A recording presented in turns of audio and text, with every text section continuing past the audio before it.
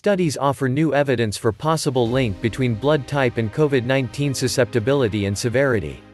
Individuals with blood type O may have lowest risk of infection. Individuals with A and AB may have increased risk of severe clinical outcomes. Two studies published in Blood Advances suggest people with blood type O may have a lower risk of COVID-19 infection and reduced likelihood of severe outcomes, including organ complications, if they do get sick. As the pandemic continues, the global biomedical research community is working urgently to identify coronavirus risk factors and potential therapeutic targets.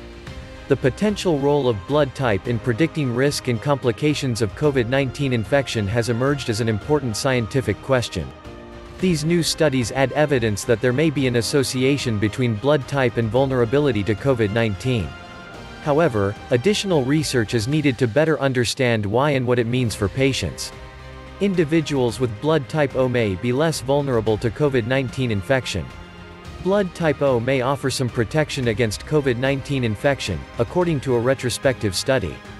Researchers compared Danish Health Registry data from more than 473,000 individuals tested for COVID-19 to data from a control group of more than 2.2 million people from the general population. Among the COVID-19 positive, they found fewer people with blood type O and more people with A, B, and AB types. The study results suggest that people with blood types A, B, or AB may be more likely to be infected with COVID-19 than people with type O. The researchers did not find any significant difference in rate of infection between A, B, and AB types. Since blood group distributions vary among ethnic subgroups, the researchers also controlled for ethnicity and maintained that fewer people with blood type O tested positive for the virus. It is very important to consider the proper control group.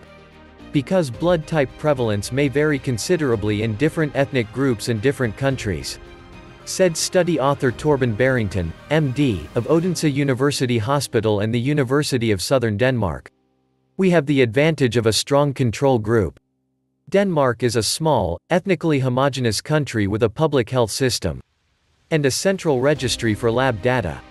So our control is population-based, giving our findings a strong foundation. Blood groups A and AB associated with increased risk of severe clinical outcomes of COVID-19 infection. People with blood groups A or AB appear to exhibit greater COVID-19 disease severity than people with blood groups O or B.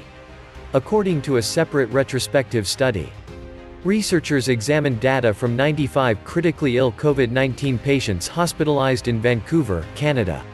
They found that patients with blood groups A or AB were more likely to require mechanical ventilation, suggesting that they had greater rates of lung injury from COVID-19. They also found more patients with blood group A and AB required dialysis for kidney failure. Together, these findings suggest that patients in these two blood groups may have an increased risk of organ dysfunction or failure due to COVID-19 than people with blood types O or B. Furthermore, while people with blood types A and AB did not have longer overall hospital stays than those with types O or B, they did remain in the intensive care unit ICU for a longer average time which may also signal a greater COVID-19 severity level. The unique part of our study is our focus on the severity effect of blood type on COVID-19. We observed this lung and kidney damage. And in future studies, we will want to tease out the effect of blood group and COVID-19 on other vital organs. Said study author Mypinder S. Sekhon, MD, of the University of British Columbia. Of particular importance as we continue to traverse the pandemic. We now have a wide range of survivors who are exiting the acute part of COVID-19. But we need to explore mechanisms by which to risk stratify those with longer-term effects. Thank you for watching. Get off the meds. Don't forget to subscribe so you won't miss important new information on topics like this.